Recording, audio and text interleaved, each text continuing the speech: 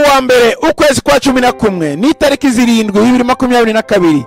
Uyu ni umunsi wa magana atatu na cumi n'umwe w'umwaka. Muri kumwe na aposo dr. Paul gitwaza. Uyu ni umunsi wa makumyabiri n'icyenda w'iminsi mirongo ine mu rugendo rwacu rwo kwiyiriza no gusenga. Hasigaye iminsi cumi n'umwe ngo turusoze. Isezerano ry'umunsi nzaguha kugendera mu kuri nawe uzanezeza umutima wanjye. Igitabo cya gatatu cya yohana igice ni icya mbere ku murongo wa kane.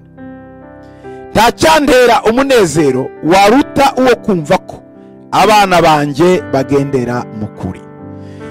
Ikinezeza imana ni uko tugendera mu kuri. Ikinezeza imana ni ukubona abana bayo bagendera mu kuri. Ku bw'izo mpamvu iragusezeranyije ivuga iti ngiye kuguha kugendera mu kuri kugira ngo uzabashe kunezeza umutima wanjye. Iki ni igihe rero gifate ucyakire imana iguhaye imbaraga zo kugendera mu kuri kandi imana iguhaye kwinezeza iminsi usigaranye yawe yo kubaho. Reka dusenge twakira iri sezerano. Mana ndagushima ko uduhaye kugendera mu kuri. Uduhaye gusengera mu kuri. Uduhaye kuvugira mu kuri. Uduhaye kuryama mu kuri. Gukorera mu kuri. Aho tuzaba turi hose tuzaba turi mu kuri. Urakoze ko ugiye kunezeza imitima yacu. Ndagushima mana ko nawe tugiye kunezeza umutima wawe.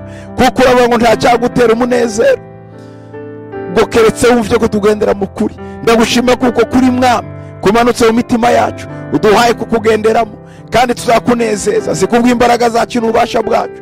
Ahubwo ni kubw'imbaraga z'umwuka wawe tuzabasha kugendera mu kuri mu minsi yose dusigaranye yo kubaho. Ndagushima ko ubikoze kandi ubyumvishe mu izina rya yesu kirisiti umwami wacu. Amen.